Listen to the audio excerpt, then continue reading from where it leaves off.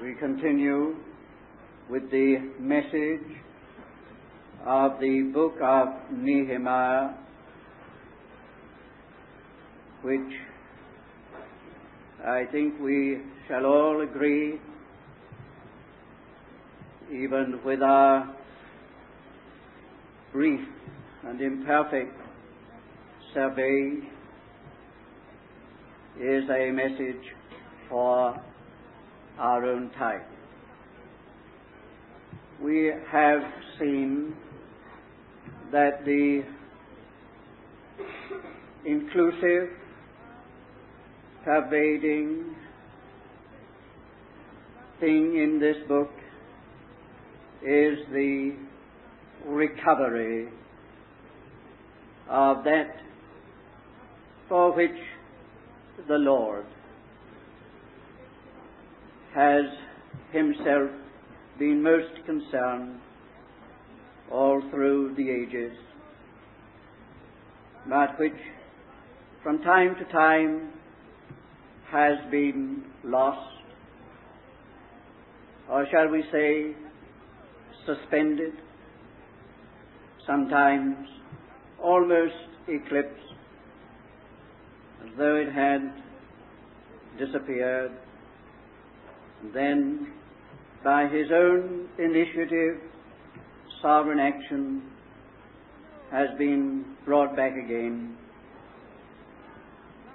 That is the all pervading message of this book recovery of that which is supremely in the heart of God. Now we are going to note another thing which runs right through the book, which represents God's way of recovery. And that, in a phrase, is the spirit of leadership.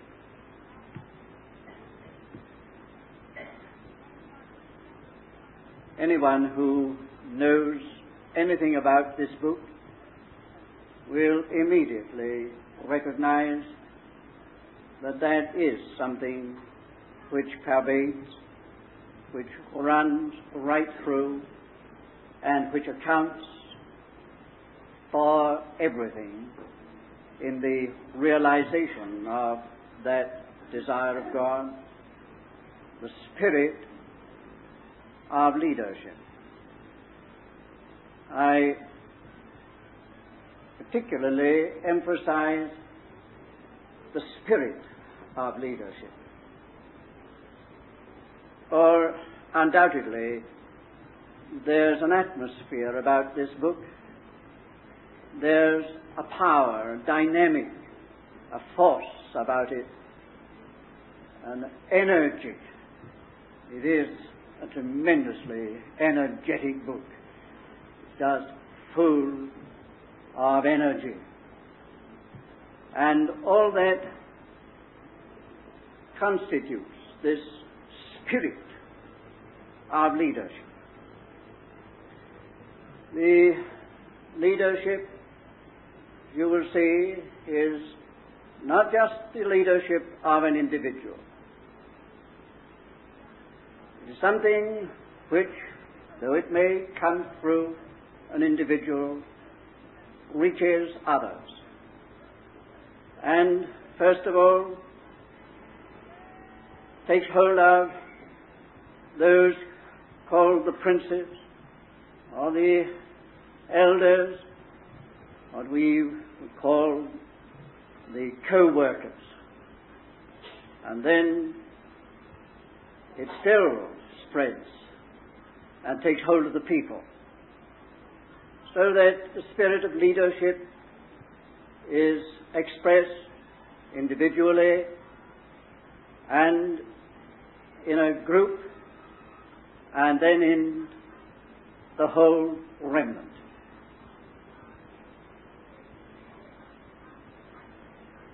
It is something which is not just bound up with any one person but which becomes, in its full expression, a corporate thing. For all Israel, there is a company, a body that inspires or sets the pace or represents the mind of God in the first place. I say that at the outset, although we have more to say about it as we proceed. But it is about this matter of spiritual leadership that I am burdened to speak this evening.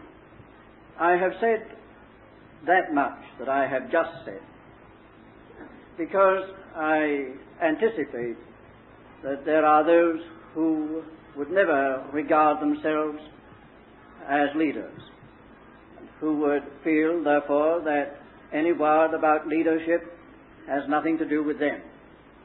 I want you to understand that leadership is as much a corporate matter as it is an individual matter or personal matter. On the other side, I can imagine that that word leadership might find a very real soul reaction from some directions, making an appeal, like the idea. It's very necessary, therefore, to get away from the merely personal idea in leadership and recognize that this is essentially a spiritual matter. True leadership in the things of God is not official, professional, or personal as such. It is essentially spiritual.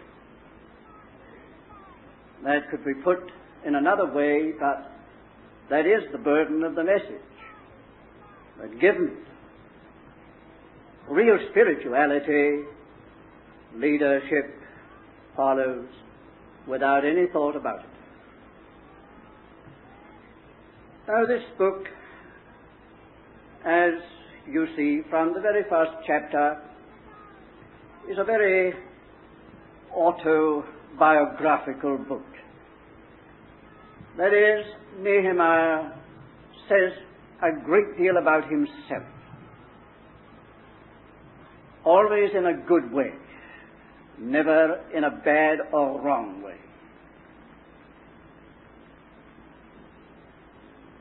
The personal pronoun occurs many times in the first chapter, and if you read it and note how he speaks of himself, you immediately catch the significance and meaning of spiritual leadership.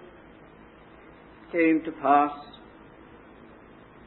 as I was in Shushan the palace. That Hanani, one of my brethren, came, he and certain men out of Judah, and I asked them concerning the Jews that had escaped, which were left of the captivity, and concerning Jerusalem. I asked them, simple way of expressing himself, but that contains a spirit of real concern. Of real concern. I asked them. It came to pass when I heard these words that I sat down and wept and mourned certain days, and I fasted and prayed before the God of heaven and said, I beseech thee, O Lord. You get the note?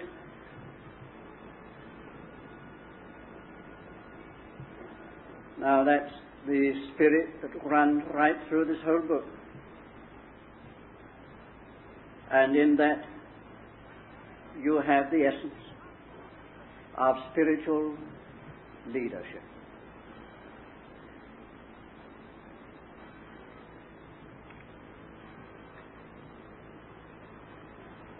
There is one thing that I would have you note, because it is vital to this consideration. Nehemiah is one of many names in this book. He may be the chief one,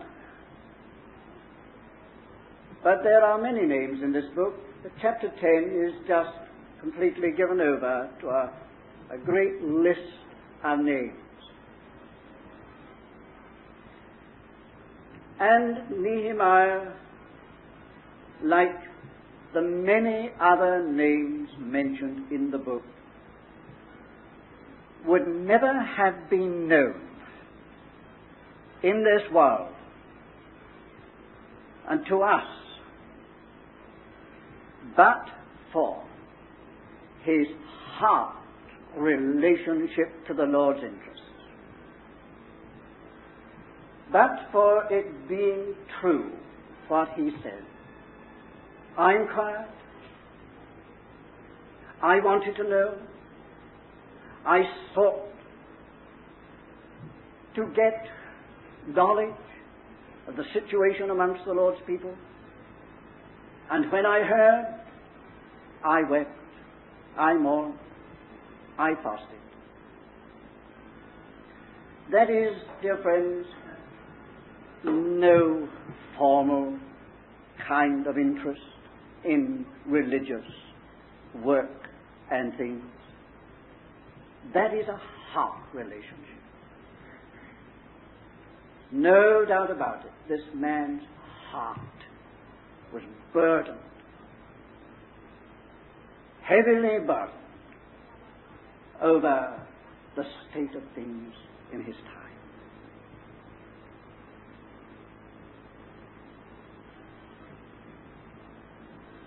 He sought nothing for himself.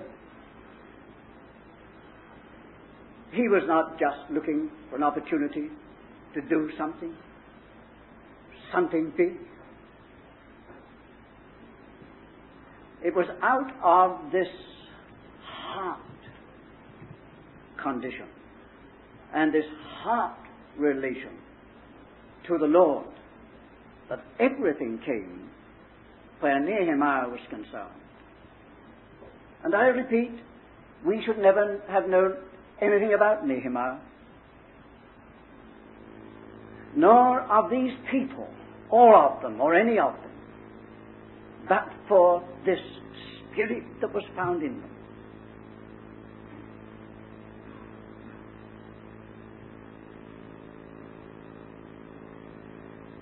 Nehemiah was not a priest. He was not a prophet. He was not a king. Somehow or other, he had been put into an honorable position in a pagan court as cupbearer to a pagan ruler. Quite a responsible position. But officially in Israel, he was nothing as far as we know. Whatever he was, we are not told. He was a man, and a man with a burden. And that was God's opportunity.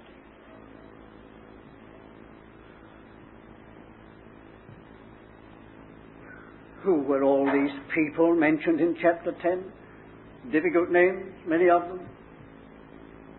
Well, never heard of them before, never hear of them again. But they're in the Bible. They're on the page of Holy Writ. They literally fulfill the word, the righteous shall be had in everlasting remembrance. God has written them Their names abide century after century, thousands of years. As long as the word of the Lord remains, their names are there, had in everlasting remembrance. Why? Not because any of them, Nehemiah included, was anything at all, but because they had a heart for God and a heart for what God wanted most of all. They, in their heart of hearts, which meant with everything that they had, were linked with God's purpose on this earth, in this world, in their time. They were the prisoners of the purpose of God for its realization. And believe me, you may be a nobody in this world amongst men, but if that should be true, you or of me, there is an eternal significance given to every such one. An eternal significance. And a significance which altogether outstrips any natural human importance. God sees to that. You may never make a great name, even in the things of God, but there's a value attached to you which heaven gives and God gives, which is of eternal account, if it should be true like Nehemiah and these others, you in your heart should be committed so utterly to the thing that God wants in your lifetime, in your day and generation. From nothing and nobody, moving into eternal accountability before heaven and before God.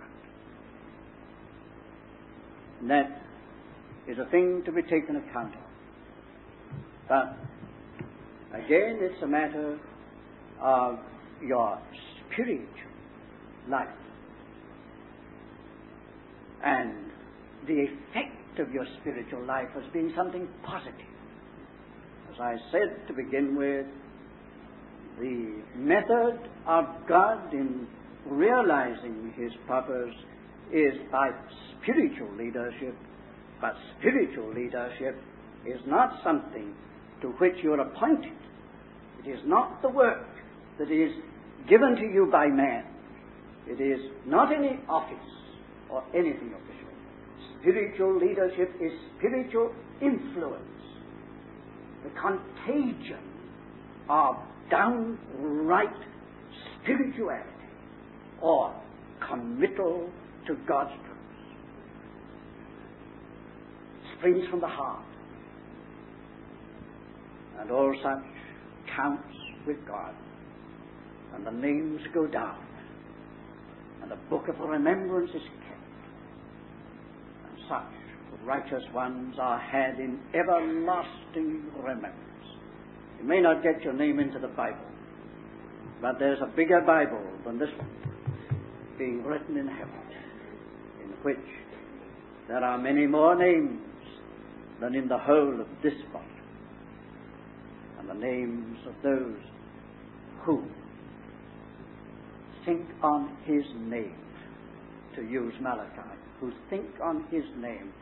And that was what Nehemiah was doing. I inquired, I asked, and when I heard, I wept, I mourned, I fasted.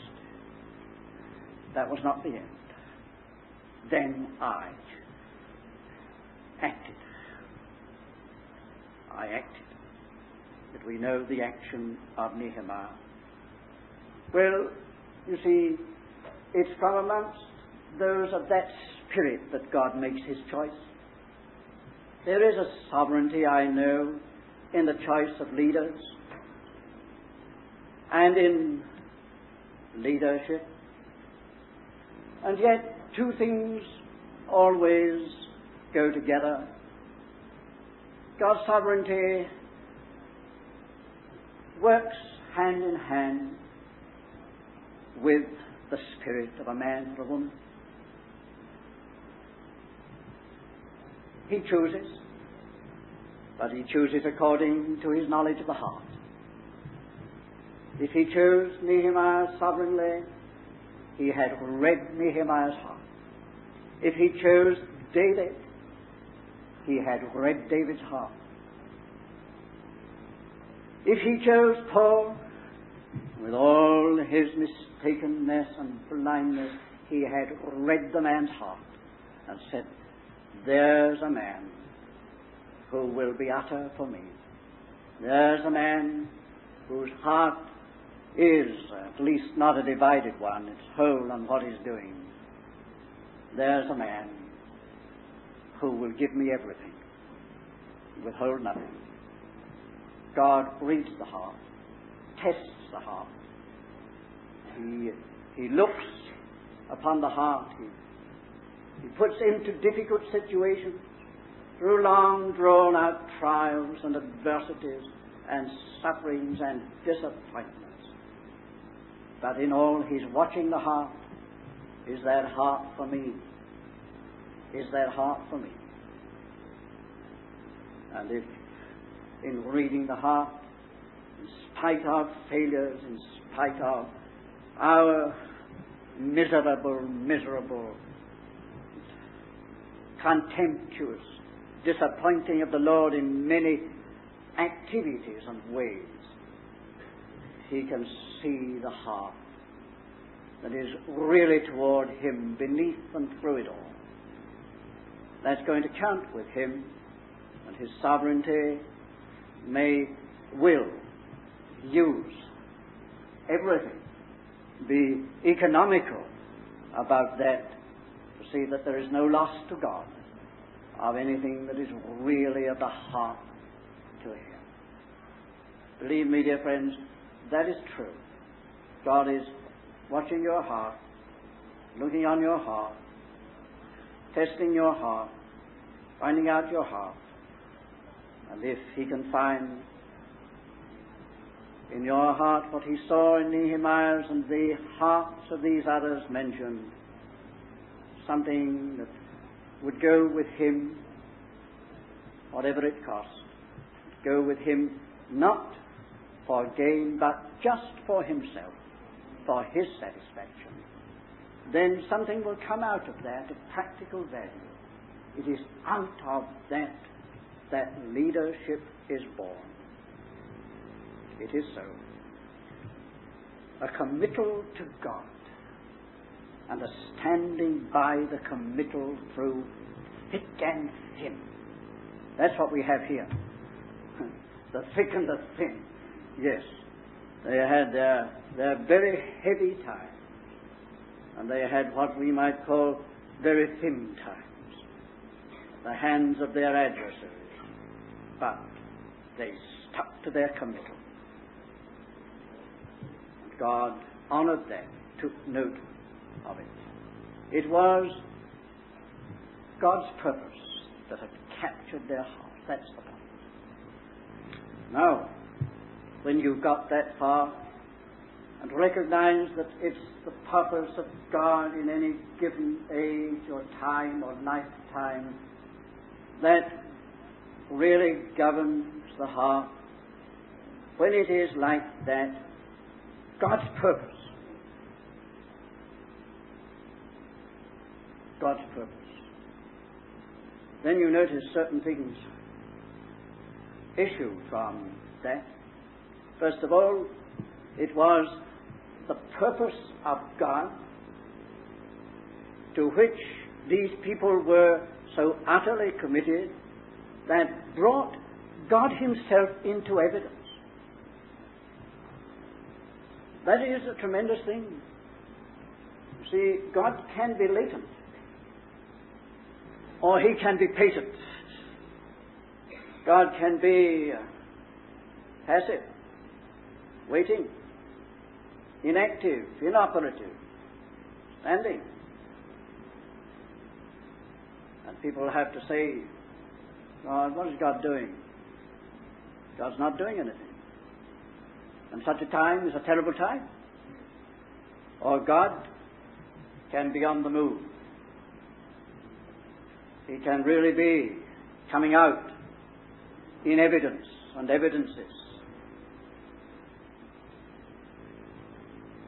If you look at the Bible and at this book, you will see that it was this heart committal to the purpose of God for that day, for that time, that brought God out into evidence, that made God forsake all and of a non-committal attitude, all our passive condition, and come out. Or, as we said this afternoon, this book is a book of divine sovereignty. God is here and in the companion book, Ezra, acting in sovereignty. Tremendous how God Himself seems to take the initiative, as though God had said, I'm going to take this matter in hand and see it through. Come what may, I'm going to see this thing through. You know that in the companion book of Ezra, the, uh, the, the phrase constantly recurs according to the good hand of my God. According to the good hand of my God upon me. The hand of my God was upon me for good. It's as though God has set himself to sovereignly see this thing through. But, dear friends, God doesn't do that without a basis. And the basis was this. When he found this heart condition and this committal, that itself made it, if I may put it this way, impossible for God to stand back and do nothing. The Lord had to say, I must commit myself. They've committed themselves. I must commit myself. There's a people who mean business. I must mean business. They're going all the way. I must go all the way. Two, the froward thou wilt show thyself froward. And we could add a lot more phrases to that. God is to us what we are to Him. We are careless. God will be like that. We're indifferent. Well, God will be like that where we are concerned. So God was drawn out into evidence by this concern for his own interests in that time. And again, I say, not only was God brought into evidence, but his servants and vessels were brought into evidence by their own heart attitude to the Lord. Do you want to count? Do you desire to be a profitable vessel? Do you really want to function? Let me say to you, it will not be by you being given a job it will be by your spirit that God takes note of, and it will be spontaneous. It will not be organizational. It will be the spontaneous reaction of God to the values that He sees in you as a heart for Him. And you begin to count without putting on any uniform or wearing any badge or being appointed to any work it will happen. It will happen. You see, I'm keeping to my context. I, there's nothing in this book or anywhere else in the Bible to say that Nehemiah was appointed to this work, officially appointed to this work, that uh, the priest anointed him, or the king appointed him, or the prophet chose him or in some way he was officially set apart for this job. He came into it. He simply came into it. No ordination service. for Nehemiah. There was no church meeting to set him aside for the work. In this case, he just came right into it. He was in it. He was it. It was like just walking in. You have to take notice of this. The Lord saw to that when he found what he wanted in the man. This relationship to God's purpose brought God into evidence and it brought the vessels of his purpose into evidence. And it did a third thing. It always follows. It was this abandon to the Lord's purpose that brought all the enemies into evidence. But for their spirit, their spirit, what would Sanballat and Tobiah and Geshem and all the rest of them have done? We shouldn't have known of them. Their names would not have been in the Bible with dishonor. They would not be remembered but for this. And I'm touching something that is very real and true to life. Make no mistake about it, if you are like this man or these people with a heart, a real heart for the Lord and His full purpose, in your day and lifetime, that very spirit will make enemies, will bring enemies into evidence. You'll not lack enemies. And really, you know, there are two ways of looking at that.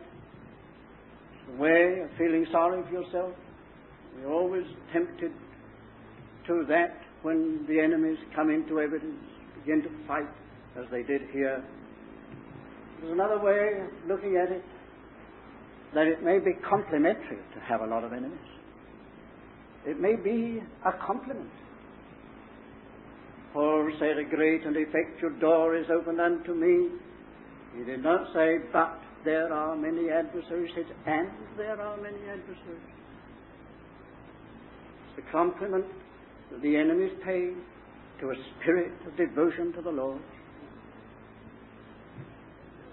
We will give the enemy credit for this much, however much we won't give him, we give him credit for this, of never wasting his energy or his time. He sees it's worth his while to fight a spirit like this. See? To break that spirit, to break this that I'm calling the spirit of leadership. To break and nullify that spirit, which is a tremendous influence upon others from God, was the sole object of all these many adversaries and the various forms in which they set themselves to stop this work. Really reading through it all, you we say, and see that their attitude was this we must break the spirit of this man and these people. We must break this leadership. We must nullify this influence, this energy. We must, in some way, wear them out. Wear them out so that they give up. They just give up. They lose heart. give up. That was the one object. Many, many were the ways of trying it, but only one thing was in view. We must break the spirit. See it, friends? That is the enemy's object. Break your spirit if you are so set upon.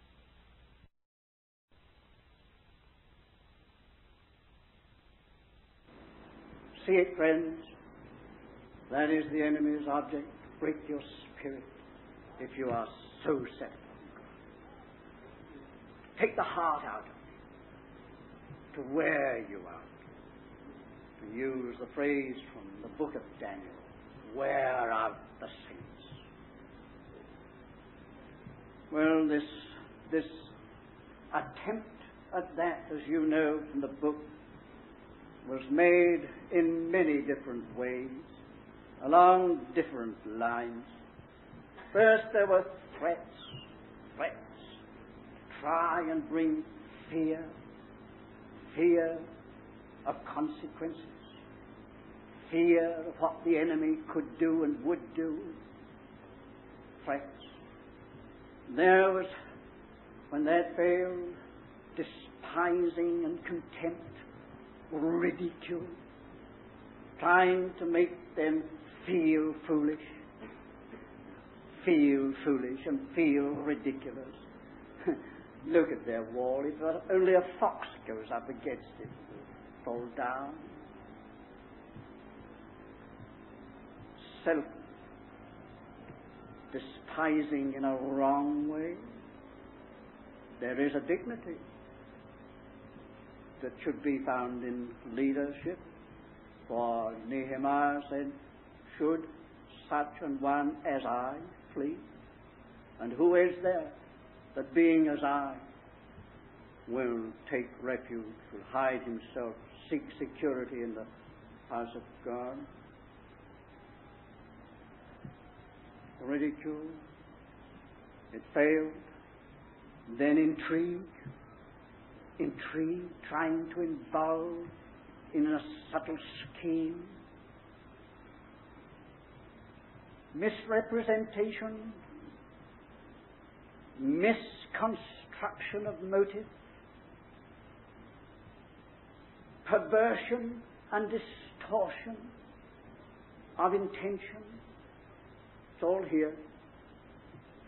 It's all here. They said uh, Nehemiah is trying to make a name for himself, gathering around him prophets to preach him, preach his name. This is all personal interest. Uh, it's cruel. It's cruel. But it wasn't true. Where did it come from? Dear friends, this achievement would never have been accomplished. This committal of God would never have been made. This divine sovereignty in action would never have been effective if Nehemiah for one moment was seeking a name for himself. God doesn't do that. God doesn't do that. If there is any personal motive at all, bound up with our attitudes and relationships to the things of God, God stands back. Until that has gone, been disciplined out of existence. With Nehemiah, God saw that this was all lies, all false, it was not true, and God committed himself. He will not do that if you've got any ambition to have position or name and do some work that will be attributed to you. Ah, yes, this is very true. You wanted to be a great evangelist. You told yourself that you wanted many souls to be saved, but God reads the heart. Some ambition to be something great in the Christian world. You wanted to be a, a teacher. People should say something about your gift as a teacher or something else. And the Lord hasn't done it. And believe me, He will not do it.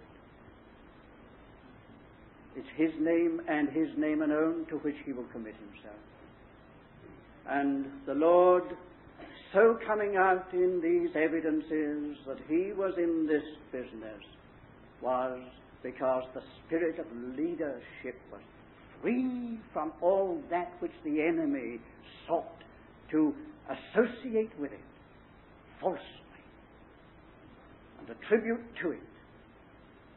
It was all untrue. We must have purity of heart. That's the point. The enemy must never be able truly to accuse. Well, What about the work? We know that so far as the historical thing was concerned, it was Jerusalem and its wall. What did it represent eternally and spiritually and in the heavenly way?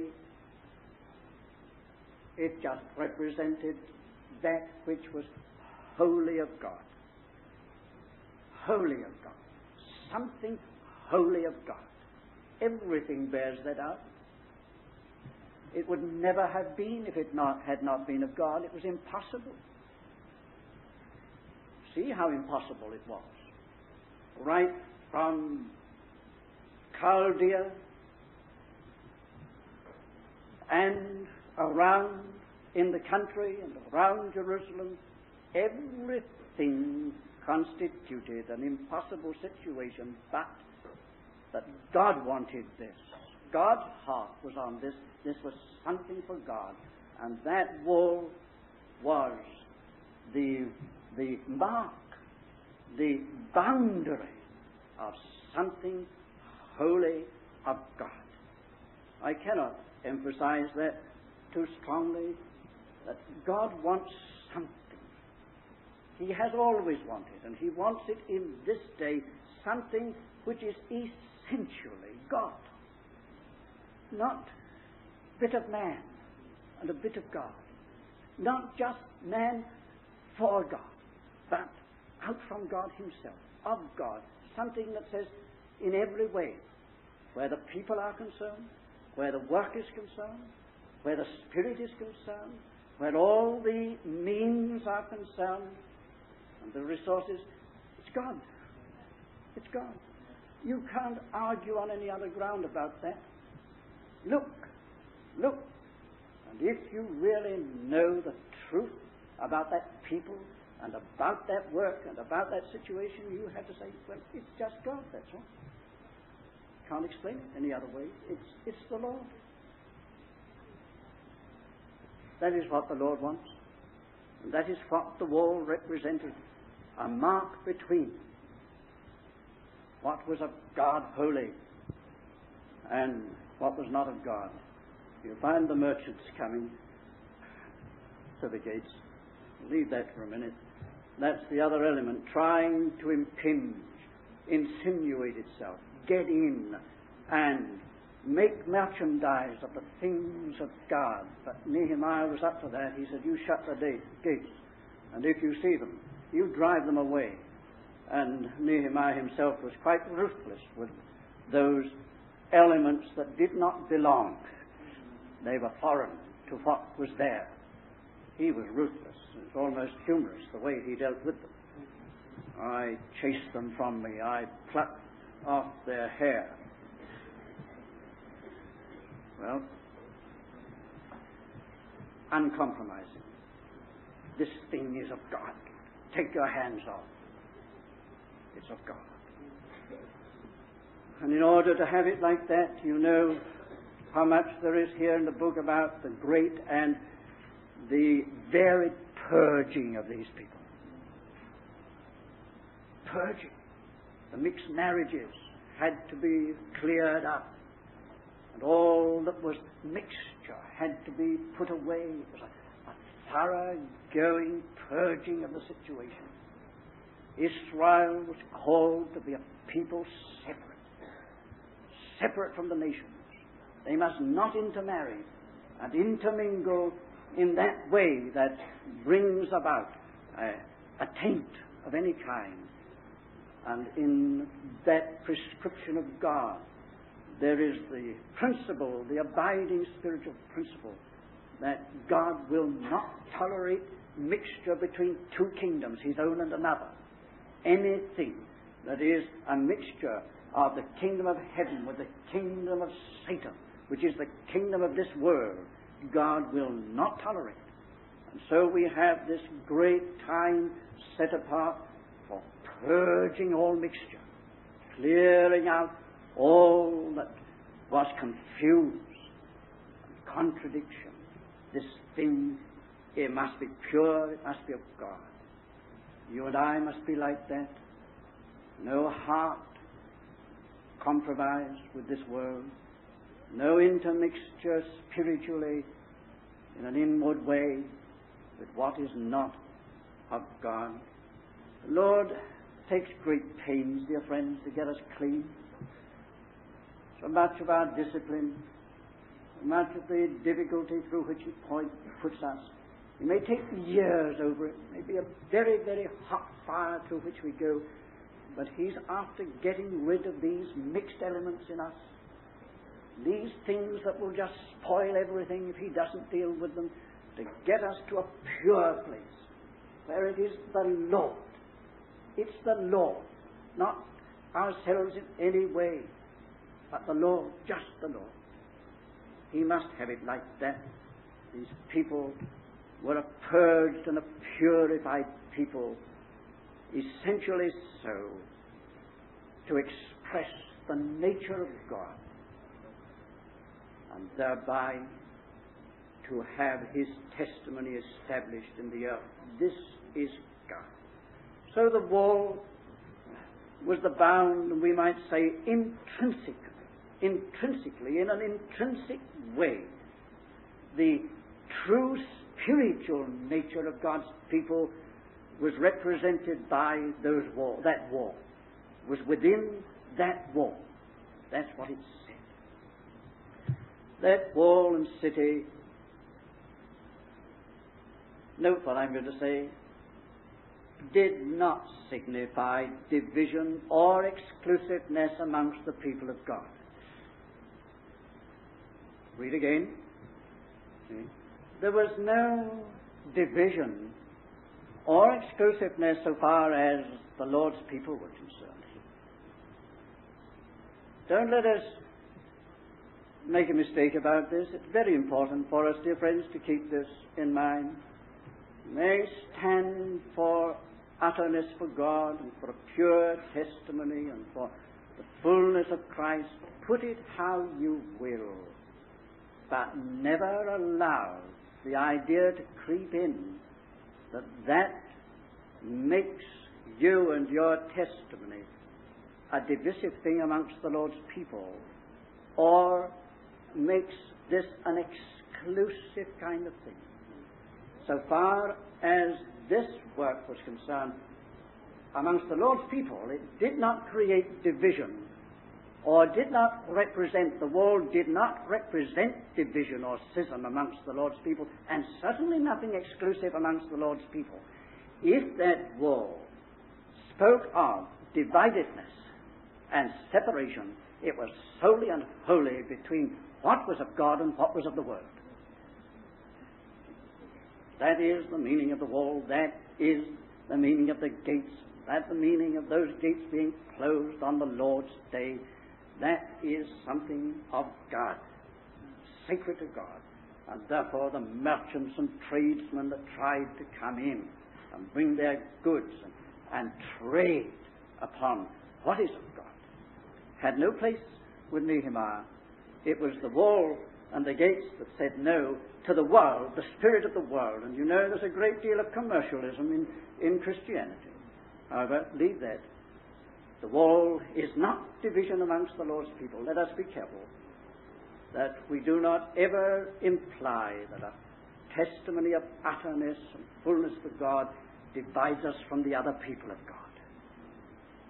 Never allow that to be suggested.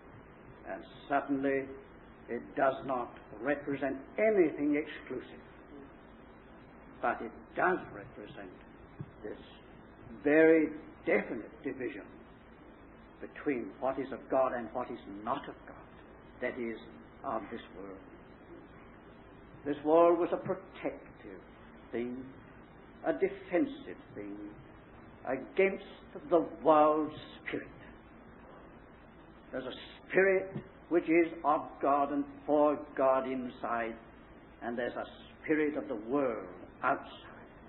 The wall was there to defend and protect against that world spirit. And I'll just say one other thing, I think, if I can, only say one more thing out of so many as I close this evening.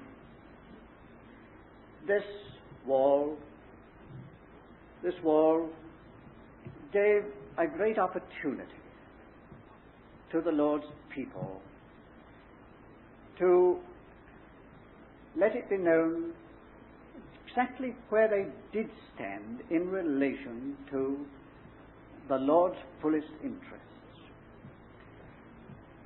to God's purpose. You know, it was the least pleasant thing to live in that city. It was not the thing that, that the natural heart would choose. Only a tenth of all the people agreed to live in the city. The others preferred the country, outside. But look again, a special blessing was conferred upon that tenth. A special blessing was conferred upon the tenth, the tithe of all the people who agreed to live in the city. I think there's something there to take note of. This position for God of unmixed devotion to the Lord, utterness for the the purpose of God, the fullness of Christ. All that this represents, this is a test, you know. It really is a test. It will find us out. There are the greater number, the nine tenths, if you like, who prefer a bit easier way. Not this way. Yes, still the Lord's people. Still uh, loving the Lord, serving the Lord, working for the Lord, living for the Lord. But not going this way. Shrinking from this way. This is too exacting. But this wall gave a, a real opportunity for people to show really where their hearts were, whether their hearts were in the purpose of God or not. The Lord does that. He raises up something and it's a tremendous test to people and many won't face it. Many won't go that way. Many say, as did some in the days of the Lord, this is a hard saying. Who can hear it? Or this is a hard way. Who can go it? It's a few, perhaps, who stand the test and live in the city. I think I will will stop there for this evening. You've got quite enough. Do you see clearly all this all this means? I am convinced that it's a message for today and for us here I am cast upon the Lord that you see the significance. For I never felt more that we here in this place uh, were in greater need than we are today of a, a consolidating, reconfirming vision of God's purpose. Really, what the heart of things is with God. We can miss the way and lose if we do not see and if we are not captured and captivated by that which the Lord would have specifically, not generally, but specifically in this time of a recovered testimony to his Son's influence. We pray.